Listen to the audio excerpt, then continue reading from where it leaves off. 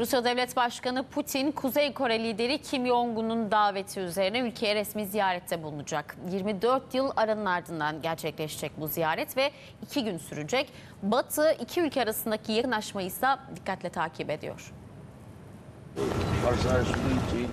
Rusya'dan Kuzey Kore ile ilişkileri güçlendirecek adım geldi.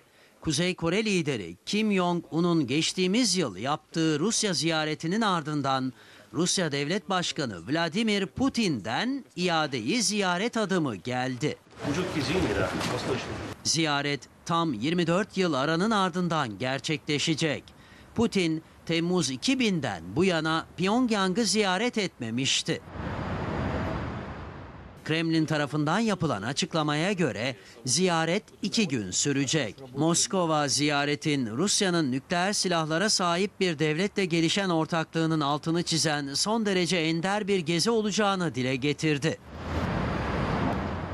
Görüşmelerde her ikisi de batılı ülkelerle ayrı noktalarda yoğunlaşan gerilimler yaşayan ülkeler olarak askeri işbirliğini genişletmeye odaklanması bekleniyor. Kuzey Kore ve Rusya arasındaki askeri ve ekonomik işbirliklerinde Kuzey Kore liderinin geçtiğimiz Eylül ayında Rusya'nın uzak doğusundaki Putin'le bir araya gelmesinden bu yana ciddi bir artış var.